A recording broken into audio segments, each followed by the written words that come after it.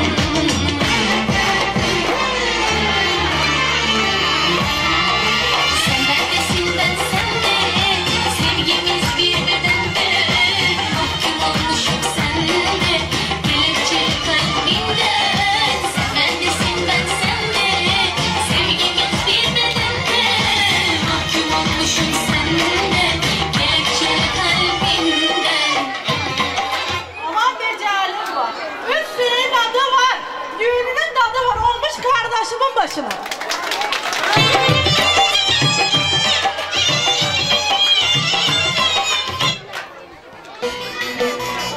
İzmir ve Ege'nin en romantik adamı, romantik Erhan.